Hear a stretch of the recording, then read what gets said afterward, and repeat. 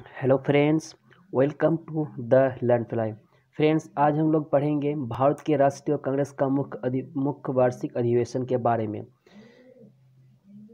इसमें जो आपका पहला अधिवेशन हुआ था आपका 20 दिसंबर अठारह में, ये अधिवेशन हुआ था मुंबई में और इसका जो अध्यक्ष था अपना W C Banerjee Bharat Congress का मुख्य अधिवेशन हुआ था, उसमें से पहला अधिवेशन 20 दिसंबर अठारह में हुआ था।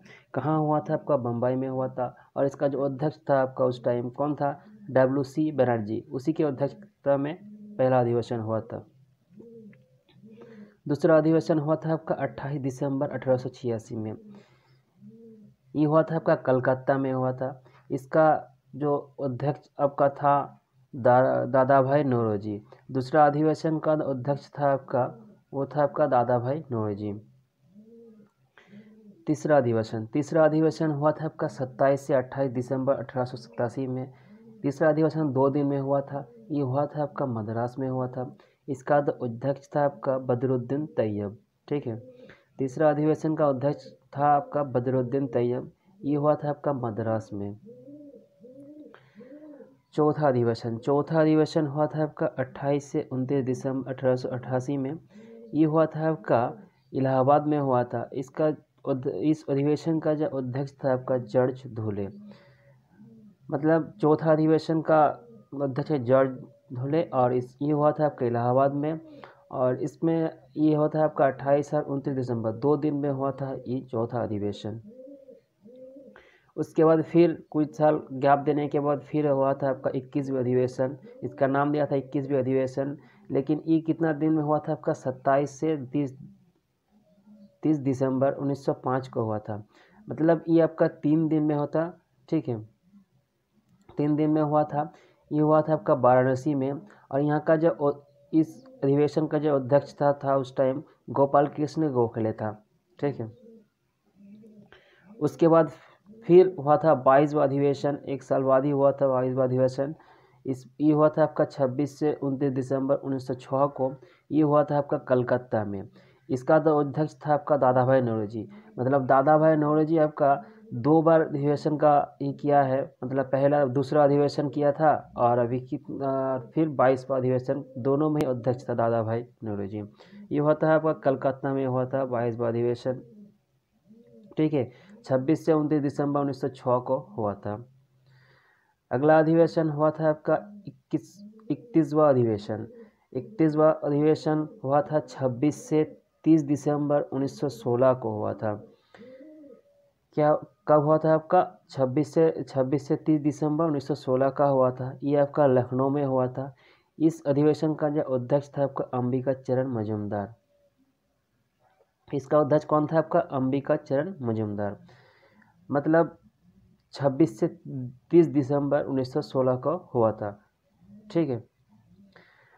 अगला हुआ था आपका बत्तीसवा अधिवेशन। बत्तीसवा अधिवेशन हुआ था आपका 28 से 29 दिसंबर 1917 को। ये हुआ था आपका कलकत्ता में हुआ था और इसका जो अध्यक्ष था आपका Shrimati Annie Besant. Shrimati Annie Besant. बत्तीसवा अधिवेशन हुआ था आपका 28 से उनतीस दिसंबर नाइनटीन में। और इसका, हुआ था आपका कलकत्ता में और इसकी अध्यक्षता किया था श्रीमती एनी बेसेंट। उसके बाद फिर कुछ साल गैप देने के बाद हुआ था उनतालीसवा अधिवेशन, जिसका नाम दिया था उनतालीसवा अधिवेशन हुआ था। ये हुआ था आपका 26 से 27 दिसंबर 1924 को। मतलब कुछ साल गैप देने के बाद फिर अधिवेशन हुआ था, उसका नाम दिया था उनतालीसवा अधिवेशन। ये हुआ था आपका 26 से 27 दिसंबर 1924 को। ये हुआ था आपका बेलगांव में हुआ था और इसका अध्यक्ष था आपका उस टाइम महात्मा गांधी था। मतलब उनतालीसवा अधिवेशन कौन अध्यक्षता किया था आपका? महात्मा गांधी ने। उसके बाद फिर हुआ था आपका चालीसवा अधिवेशन। ये हुआ था आपका 26 से 28 दिसंबर 1925 में। 1925 में हुआ था। ये कहाँ हुआ था आपका? कानपुर में हुआ था। इस अधिवेशन का अध्यक्ष था आपका सरोजनी नायडू। चालीसवा अधिवेशन का अध्यक्ष कौन था आपका? सरोजनी नायडू। सरोजनी नायडू। उसके बाद फिर कुछ साल गैप देने के बाद चौवालीसवा अधिवेशन नाम दिया था उसका। ये हुआ था आपका 29 से 31 दिसंबर 1929 में।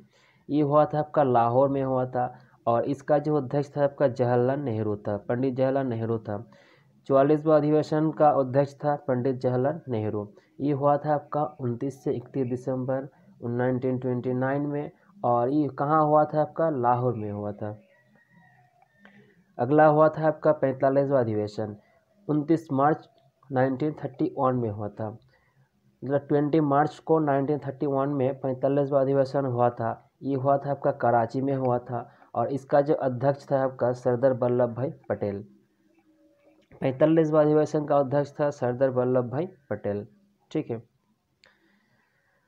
अगला अधिवेशन हुआ था इक्यानवा अधिवेशन फिफ्टी वनवा अधिवेशन हुआ था। ये हुआ था आपका नाइन्टी उन्नीस उन्नीस से इक्कीस फरवरी नाइनटीन थर्टी एट में। मतलब नाइनटीन से ट्वेंटी वन फरवरी के बीच में हुआ था नाइनटीन थर्टी एट के टाइम उस टाइम इसका ये इक्यानवा अधिवेशन हुआ था आपका हरिपुरा में हुआ था और इसका जो अध्यक्ष था आपका सुभाष चंद्र बोस था, नेताजी सुभाष चंद्र बोस था। इक्यानवा अधिवेशन का अध्यक्ष किया था आपका सुभाष चंद्र बोस ने, और ये हुआ था आपका उन्नीस से इक्कीस फरवरी 1938 में। और ये हुआ था कहाँ आपका? हरिपुरा में हुआ था। फिर उसके बाद हुआ था बावनवा अधिवेशन। बावनवा अधिवेशन 10 मार्च 1939 में हुआ था। तो 10 मार्च उन्नीस सौ उनतालीस में हुआ था। ये हुआ था आपका त्रिपुरी में हुआ था। और इसका जो अध्यक्ष आपका था, फिर कौन था आपका? नेताजी सुभाष चंद्र बोस था। ठीक है मतलब इक्यावनवा अधिवेशन सुभाष चंद्र बोस ने ही किया था और बावनवा भी उसी के अध्यक्ष में ही हुआ था, बावनवा भी। अगला हुआ था आपका चौवनवा अधिवेशन। चौवनवा अधिवेशन होगा, हुआ था आपका तेईस नवंबर 1946 में।